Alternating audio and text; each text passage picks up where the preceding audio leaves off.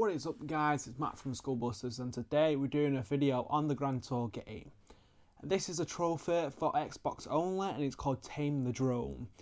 This uh, trophy is a bitch, I'll say it right now. What you need to go on is Season 3, Episode 4 and Season 7 to go on this. So pretty much you have it and you just want to start this flying lap and pretty much it's, di it's difficult. So we get going coming up to the first corner. Um, this corner doesn't matter as much, just keep it nice and clean and tight. Uh, first one, you're going flat out. Uh, second one, you can go flat out, but I just do a little drift to keep my speed. Flat out is a bit hard, so I don't do it, so I'll do a drift. Coming up to the hairpin, you want to brake just after the 50 metres. You want to keep it as 80 or above on the drift. Uh, 50, you need to turn, it's flat out on the 50 mark. And then uh, coming up to the next one, now you need to turn on the 50 mark. Once again, you can lift off slightly, uh, but this is the bitch, the chicane. You need to get spot on and perfect. I'll do a breakthrough in a minute on it. Uh, coming up to the last one, you want to brake after slightly, just tap it, uh, roll into 150 and then into the corner, and that's it, 54. So now I'm going to do a breakthrough off the important corners. So I'm going to do a breakthrough now. This is on the hairpin. This is the first important corner that you've got to get right and that you know you're going to do a good lap. So the way I do it, you've got to hit the brake and the handbrake at the same time, just after 50. Like flick your thing into the corner, let go, and then just keep your wheel uh, throttle on.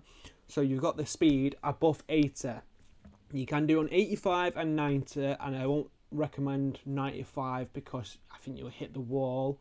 But if you can do 95, then you're spot on. Don't hit any wall. Uh, since you come out the corner, you pretty much want to get like on it, and then you got either two good corners, uh, flat out.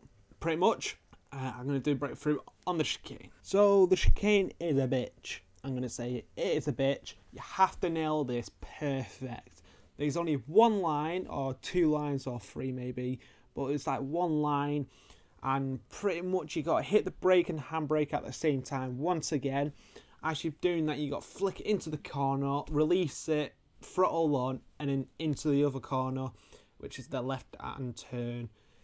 Pretty much it's solid. Pretty much you want to brake just after 50 uh, and then uh, pretty much you just got to like smooth it out and make it like neat as possible going through the chicane. If you go wide or you go deep or you do the left hand corner wrong, it's game over. I apologise for that. It's pretty much game over. So when you're coming out of the chicane, there's like a path. I'm gonna show you with a little arrow.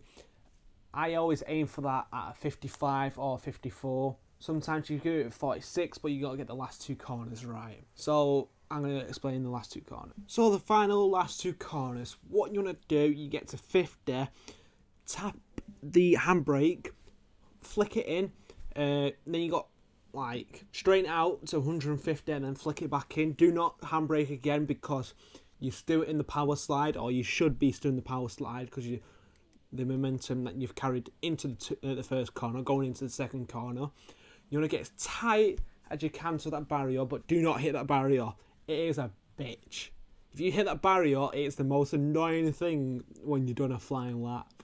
Because that will cost you time and it cost me time. Yes, this took me about three hours to do and it was annoying.